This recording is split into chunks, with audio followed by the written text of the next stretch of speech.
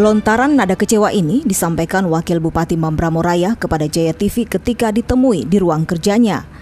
Menanggapi pimpinan SKPD baru yang telah dilantik beberapa waktu lalu dan kerap kali bekerja tidak sesuai visi dan misi, Bupati dan Wakil Bupati Mambramo Raya periode 2015 hingga 2021 mendatang.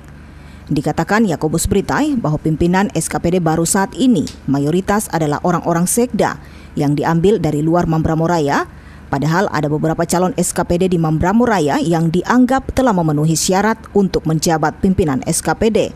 Sehingga dengan kondisi ini maka sangatlah wajar adanya desakan masyarakat dan para tokoh untuk segera mengganti Sekda Alfons Sesa. Sekda ini membuat situasi ini juga tidak aman. Akhirnya eh, membuat eh, menentukan eselon 2 ini juga di luar saya. Artinya saya tidak tahu sama sekali. Mungkin ya, mungkin bupati sendiri tahu, tapi saya sendiri tidak tahu hal itu. Ya sekda ini ya begitu. Atau sistem pemerintahan ini tidak bagus.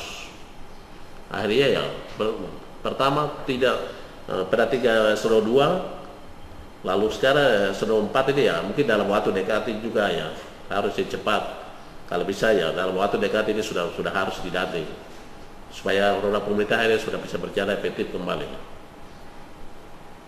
Nah, ini saya masih tunggu beberapa hari ke depan kalau memang uh, ya sampai terjadi seperti eselon 2 eselon 2 saya tidak tahu sama sekali. Saya sudah dorong untuk koperasi beberapa uh, ini tapi uh, dari saya tidak diakomodir lebih lanjut, Wakil Bupati akui dalam waktu dekat akan dilakukan pelantikan pejabat SKPD, yakni eselon 3 dan 4 di lingkup Pemda Mambramo Raya.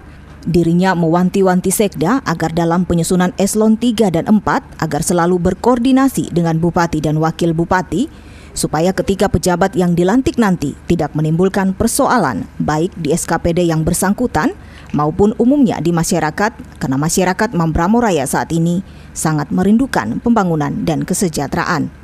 Dari Mambramo Raya, Williams Awek, kontributor Jaya TV mengabarkan.